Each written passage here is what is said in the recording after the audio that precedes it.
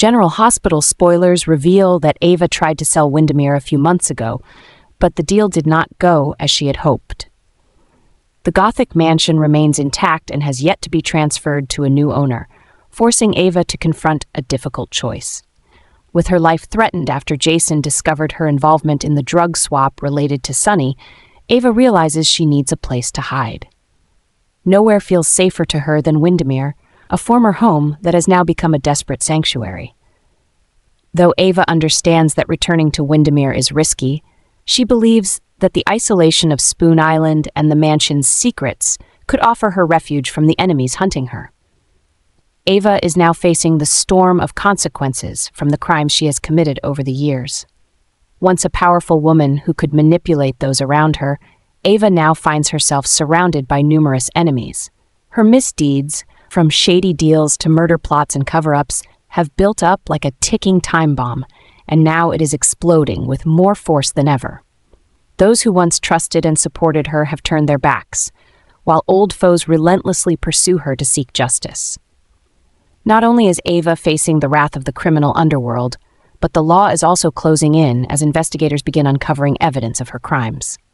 The secrets she worked so hard to keep, well, from the drug swap involving Sonny to other dangerous plots, are slowly being exposed. Each revelation increases the number of people who want her gone. Ava is now not only under legal attack, but also faces very real dangers from shadowy enemies who won't hesitate to use violence to achieve their goals. She has become a target for multiple factions, each with their reasons for wanting her eliminated. Every step she takes is fraught with risk, as she can't be sure who will try to take her down next. Cornered, Ava must face the reality that she is running out of time to escape. Her safety is more precarious than ever as the world seems to close in on her from all sides. Former allies could easily betray her to protect themselves. In this dire situation, Ava is forced to seek refuge, but even that may not guarantee her survival, as threats loom from every direction. The major investigation into Ava's death has been officially confirmed, and the secrets John tried to protect are now being revealed. His efforts to safeguard Ava, already complicated and fraught with danger, have completely unraveled as new evidence and clues emerge in the investigation. All of John's plans to keep Ava safe from the dangers surrounding her are now futile. The investigation doesn't just focus on Ava's mysterious death, but also delves into the dark schemes she had been involved in over the years. Past events seem to be coming back to haunt not only Ava, but also those connected to her. As the investigators intensify their efforts, John realizes that all his attempts to cover up or mitigate the legal troubles surrounding Ava are no longer effective.